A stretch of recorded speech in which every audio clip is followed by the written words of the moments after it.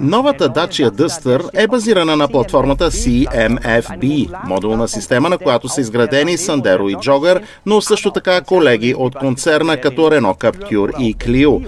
Най-важното още в самото начало. Това са габаритите. Там всъщност на практика нищо не се е случило. 4,34 дължина, също като при предшественика, 1,81 широчина, също като преди и височина около 1,67 между осия от 2,67. Всичко на практика си останало непроменено променено само по някой друг милиметър тук и там, но в същото време отдачи ни обещават повече пространство в купето. Дали това е така, сега ще проверим. Но нека първо дадем заслуженото на предницата, а тя определено е индивидуално издържана. Според мен е доста характерна. Естествено, отпред веднага се забелязва логото на Дачия. То определено дава нова свежа нотка на Дъстър. По нов начин се възприема вече марката. Предните светлини са тънки и издължени, с светлиния подпис във формата на буквата Y. Това ни е познато също и от предшественика собственика, но сега всичко е една идея по-ръбесто. На мен това малко ми напомня на джип.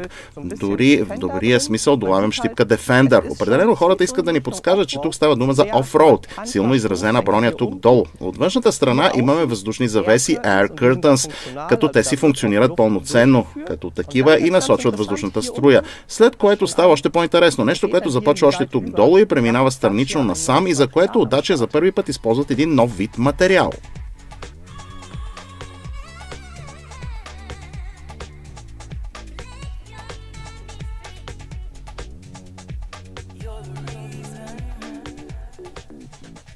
Спаркъл наричат от Дачия този нов вид материал. В случая става дума за рециклирана пластмаса. 20% е делът на рециклираната пластмаса. За първи път Дачия го въведе при концепцията Манифесто. Сега вече се използва серийно и в новия Дъстър. Хората са много горди с това тук. Сега ще трябва малко да се наведа. Ето този знак, символизиращ рециклиран материал. В него пише 20%. Намирам го за много симпатично, почти не прави впечатление, но все пак го има. И къде в крайна сметка наистина се използва Спаркъл. Тук по краищата на калника, долу в защитата на праговете, също така около пантите на вратата. Материалът като лента обгръща целият автомобил. Ако се загледате по-внимателно, ще видите също така едни бели на цвят прашинки. Това съвсем не е мърсотия или праколяк, а истински рециклиран материал. От Дачия казват, че той е изключително здрав и издръжлив на натоварване. Нищо няма да му стане, ако материалът бъде ударен от камъче или нещо подобно, докато се движат извън пътя. С други думи, може да понесе не малко и, както вече казах, образува нещо като специална защита, обикаляща автомобила. Ако сега продължим нататък, обещавам, че след малко вече ще се качим в колата. Забелязваме първо тук дръжката. Това на мен лично ми се вижда много важно. Тук се използват класически дръжки с ръкохватка, вече не са старите с плоска повърхност. Аз много ги харесвам и предпочитам. Разбира се, и другите видове дръжки вършат работа, но тук при тези просто усещаш, че държиш нещо в ръцете си. Така че това е също нещо ново. По-назад втората врата няма нито старите плоски дръжки, нито новите с ръкохватка. Сега дръжката е вече поставена на третата С колона. Естествено, това също работи добре, но ако питате мен, аз някак си мислех, че този вид дръжки вече не са на мода. През последните 5-6 години имах чувството, че почти нямаше модели, които използват тези дръжки, но напоследък се забелязва тяхното завръщане при различни марки и ето ги сега при новият Duster.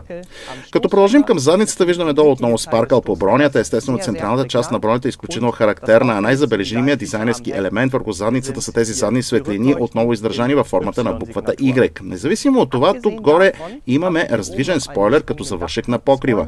Също така едно според мен доста тясно задно стъкло. Признавам си, че съм любопитен как то ще се усеща, щом сме вътре седнали в купето. Най-вече какъв ще бъде обзорът ни назад. Все пак стъклото си е доста тясно, но окей, след малко ще проверим.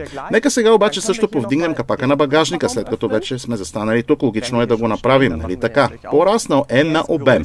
Не много, но все пак някъде около 6% казват от Дачия. 478 литра се побират тук, при прегънати задни седалки стават 1623. Имаме двойно дъно, намирам го за много практично. Имаме също така нещо съвсем ново, така нареченият Sleep Pack. Феновете на Дачия сред вас вероятно го познават от Джогър. Това е своеобразно решение, при което винаги разполагате с легло за двама души. 1,90 на дължина и 1,30 ширина, така че ако желаете или пък се налага, може също да нощувате в тази Дачия Дъстър. Намирам го за много яко, особено за хора, които обичат да прекарват повече време сред природата. Какво друго? Електрически затварящи се врати на багажника продължава да няма, защото според Дачия това не е от съществено значение, просто не ни трябва.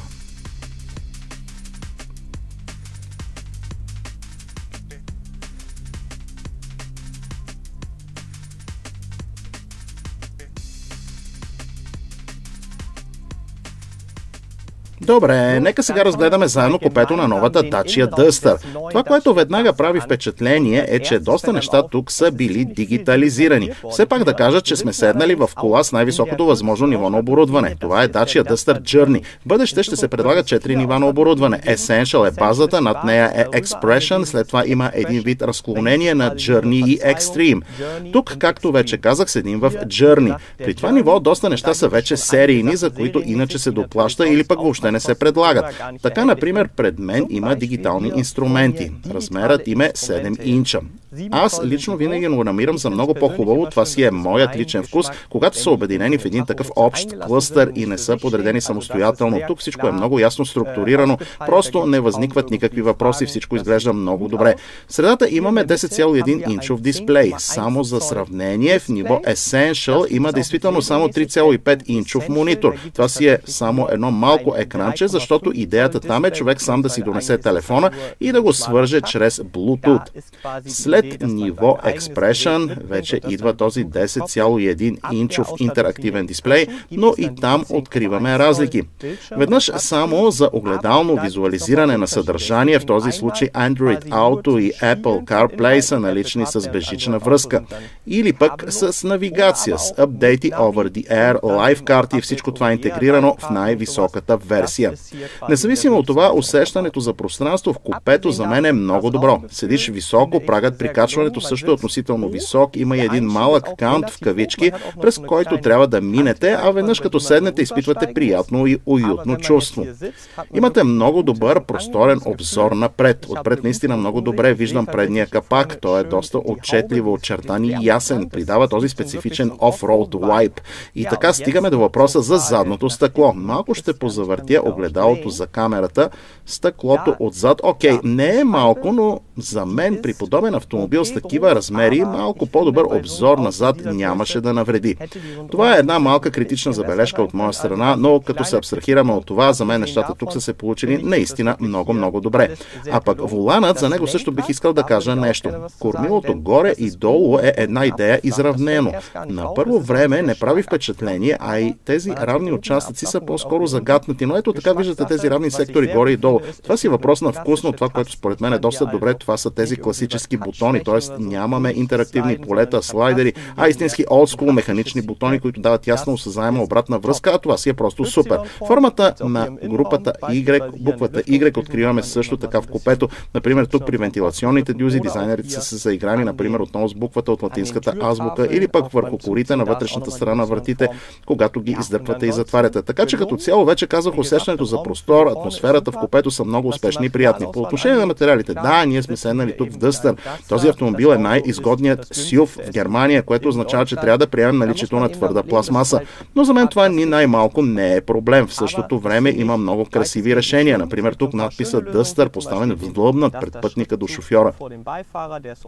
Имаме също така някои не чак толкова удачни детайли, например краищата на блока за управление на климатичната инсталация. Може би малко издребнявам в случая, но наистина не ми харесва това решение и вероятно би могло да бъде направено малко по-елегантно в бъдеще. Малко ми стои нестабилно, но какво пък съвсем не е страшно. Важните неща, като пространството за водача и пасажирите, оборудването, всичко това е много добре, така че предлагам да седна набързо и отзад, за да погледнем как изглеждат нещата там.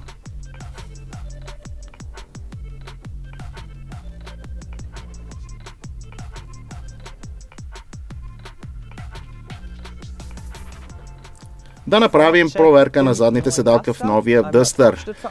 Да нагласим първо подглавника. Отдача нали ни обещават малко повече място благодарение на новата платформа. Изразено в числа почти 3 см повече въздух за краката. Виждате го и вие. Седалката отпред оставих с настройките за моя ръст. Аз съм 1,83, така че всичко е окей. Е, разбира се, мястото не е в изобилие, но не трябва да забравяме, че тази кола е с дължина 4,34. Отзад имаме доста голям багажник и на този фон аз с моите 183 см си седя наистина много удобно. Няма никакви забележки. По отношение на оборудването, отзад имаме две букси за USB-C. Та, това е в общи линии отзад. Това, което също много ми харесва, е таванът в купето. Той не е просто издържан в черно, а е от този сивкав плат, напомня малко за вълнения плат Tweet. Намирам го за много сполучливо. Доста приятен детайл, а иначе сега бих предложил да обърнем внимание на истински важните факти, а това са двигателите.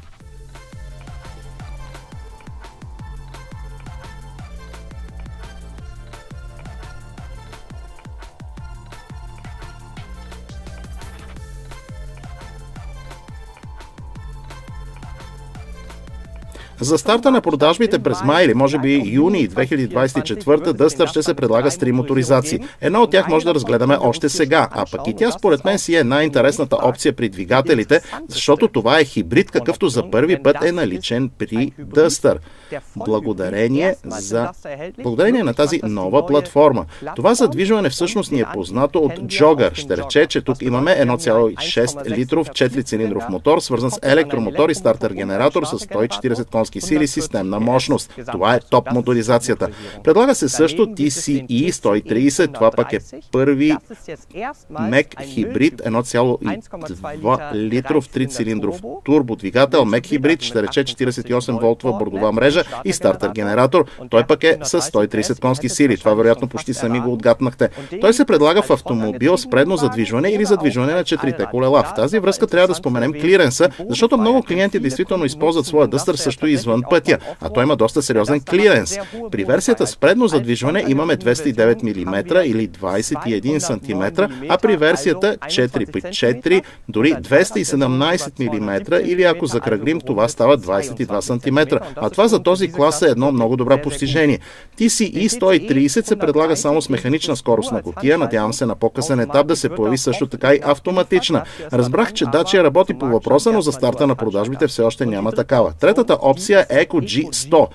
Това е популярната версия с двугоривна система на бензин и пропан-бутан. От Dacia логично много се гордеят с нея и вероятно повечето от вас я познават. Разполага с 50 литров резервуар за бензин и 50 литра резервуар за пропан-бутан. Превключват се с едно натискане на бутон и предлага общ пробег до 1300 км. Това вече си е една, един много сериозен пробег. Сега ще затворя отново капака, след което ще продължим с още от наистина важните и съществени факти. Та, този дъстър ще може да се поръча от януари 2024. Както виждате, доста рано ви представяме автомобила, но отдача много искаха да ни покажат колата още сега, затова и ние разбира се с удоволствие веднага го правим. Така, че още малко търпение, след което стигаме до още нещо по-съществено дори, а именно цената. Официално отдача още не казват нищо конкретно за цената, но успях все пак да измъкна от тях информация, че новия дъстър в Германия поне ще стартира под 20 000 евро. Актуалното поколение започва от 17 400. Тук, при този си мисля, че ще си говорим за 19 000, дори 19 500 евро.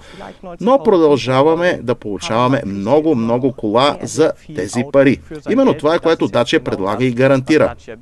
Толкова от мен за днес от Португалия. Надявам се да ви са харесали както автомобила, така и нашето видео. Споделете в коментарите, играта ви е известна. Аз винаги чета всички отзиви и винаги е интересно да разберем какво мислите вие. Благодаря на оператора Кристиан. Както винаги беше много приятно да работим заедно, а ние ще се видим скоро отново. До тогава оставете ни един лайк, споделете видеото и се абонирайте за канала. До следващия път. Бъдете здрави!